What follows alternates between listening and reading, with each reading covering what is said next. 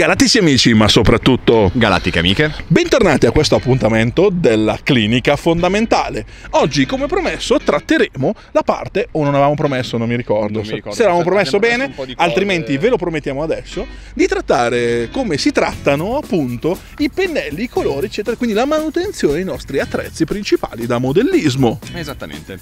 Allora, in realtà non c'è tantissimissimo da dire sui, sui pennelli, sulla loro manutenzione. Sono giusto pochi consigli che però è meglio seguire. Ovvero, Molto consigliato. Banale, usate il pennello giusto per il compito che state facendo. Cioè, non usate il vostro miglior Rullo. pennello, esatto, come avevamo detto anche nel, nel precedente video, non usate il pennello migliore per applicare la colla vinilica oppure per fare un dry brush o per stendere la base di colore su un mantello, O per meglio, esempio. potete farlo, non sta a noi dirvi quello che dovete fare nella vita. Se volete buttare un sacco di soldi, potete farlo. Se, Esatto. come tanti altri modellisti, preferite risparmiare un pochino e trattare bene i vostri attrezzi in modo che durino il più possibile e vi regalino un sacco di soddisfazioni, seguite queste invece indicazioni.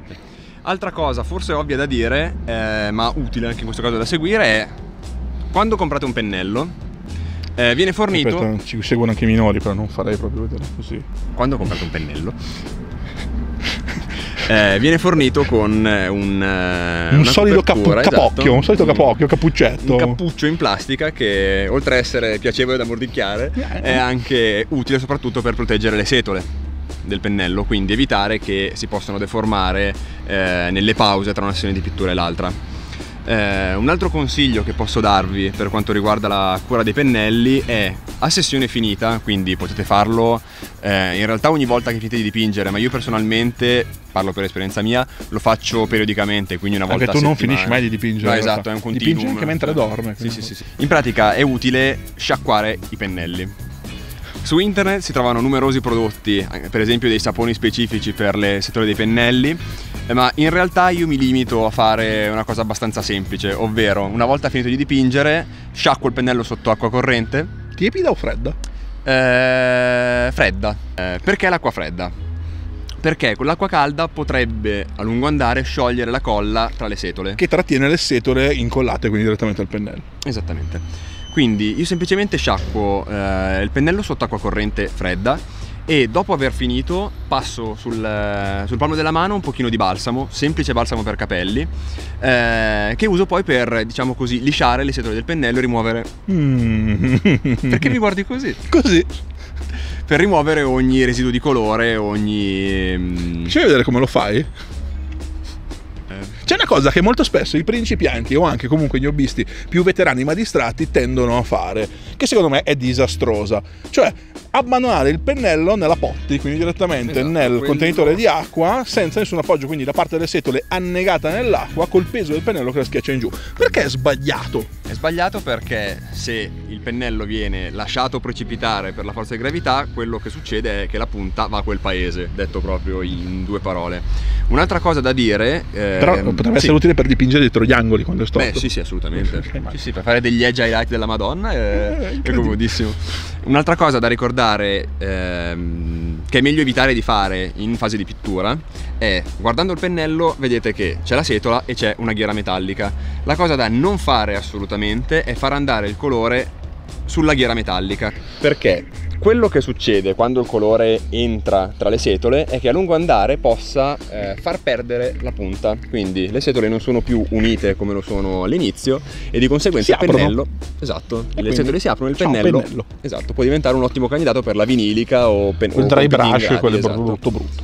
Eh, per dire, questo pennello lo uso più o meno ogni giorno da 3-4 anni e mi sembra ancora Come morbido. eh, golosone. si vede che fa la manutenzione assidua. Inoltre, direttamente dal, no- dal- dal web, il nostro Esatto. buon Bob Moro Sì. consiglia un prodotto in particolare. Ce ne sono diversi, ma qui, visto che è un, um, uomo che apprezziamo Eh, sì, particolarmente, ci teniamo a citarlo. E quindi, cosa ci consiglia il buon Bob Moro? Il buon Bob Moro ci consiglia il restauratore per pennelli dell'Obscurium.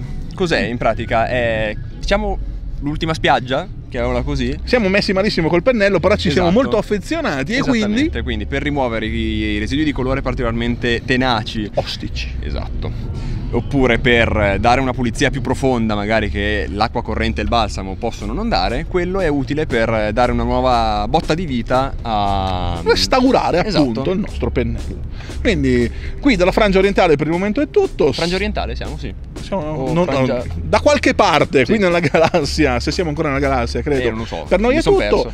Come al solito, se volete farci domande, volete che approfondiamo un argomento piuttosto che un altro, siamo sempre volentieri a vostra disposizione. Ricordatevi il mi piace a questo video, l'iscrizione al canale, campanellina per essere aggiornati tutte le nuove uscite. Abbiamo, se preferite, anche, ma vi consigliamo ovviamente il canale YouTube perché è la parte dove è più cicciosa. Esatto, c'è C'è anche la materiale. pagina Facebook, la pagina invece Instagram. Instagram. E noi siamo qua, aspettiamo le vostre. Ciao! Ciao!